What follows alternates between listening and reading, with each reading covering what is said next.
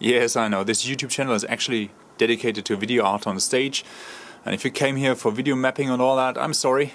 But from time to time you have to put something cute on your channel. Um, if you still want to subscribe, that's fine. Do so. I'll be back with more technical stuff very soon.